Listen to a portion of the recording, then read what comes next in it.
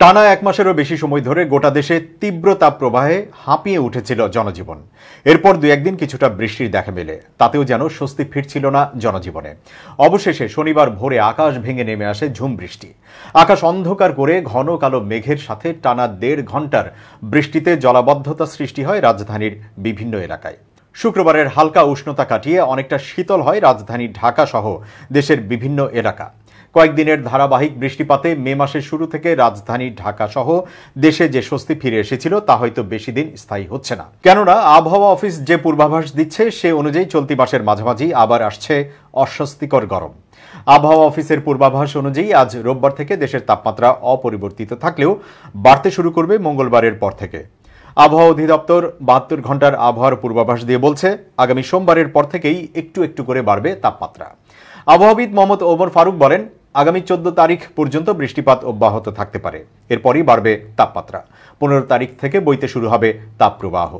আবহাওয়া অধিদপ্তর বলছে, এপ্রিল মাসে যে তীব্রতা দেখা গেছে, ততটা তীব্র হবে না মে মাসের তাপপ্রবাহ।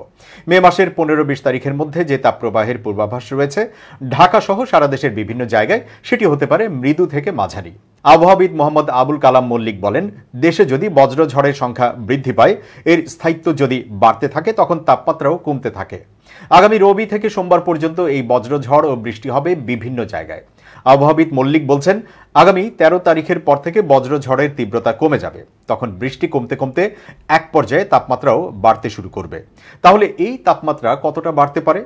কিংবা এটি কি তীব্র তাপপ্রবাহে রূপ নিতে পারে? এমন প্রশ্নে আবহাওয়াবিদরা দিচ্ছেন কিছুটা স্বস্তির খবর। তারা বলছেন, আগামী বুধ বৃহস্পতিবার থেকেই শুরু হতে পারে এই তাপপ্রবাহ। এ সময় রাজশাহী, যশোর, নওগাঁ অঞ্চলের তাপমাত্রা পঁয়ত্রিশ থেকে ছত্রিশ ডিগ্রি পর্যন্ত উঠে যেতে পারে। আস্তে আস্তে সেটি আসতে পারে রাজধানী ঢাকা ও ঢাকার পশ্চিমাঞ্চলের দিকে। আবহাওয়া অফিসের হিসাব মানদণ্ড অনুযায়ী যখন কোন স্থানের তাপমাত্রা ছত্রিশ থেকে আটত্রিশ ডিগ্রি পর্যন্ত ওঠে, তখন সেটিকে বলা হয় মৃদু তাপপ্রবাহ। আবহাওয়াবিদ মল্লিক জানাচ্ছেন আগামী পনেরো তারিখের পর থেকে বাংলাদেশে মৃদু তাপপ্রবাহ শুরু হবে। এই তাপমাত্রা সর্বোচ্চ পঁয়ত্রিশ থেকে সাঁত্রিশ ডিগ্রি পর্যন্ত ওঠানামা করতে পারে। তবে আটত্রিশ ডিগ্রি পর্যন্ত নাও উঠতে পারে। আবহাওয়া অফিস বলছে, মৃদু তাপপ্রবাহ শুরু হওয়ার পর যদি নতুন করে বৃষ্টিপাত শুরু না হয়, তাহলে এর তীব্রতা বাড়তেও পারে।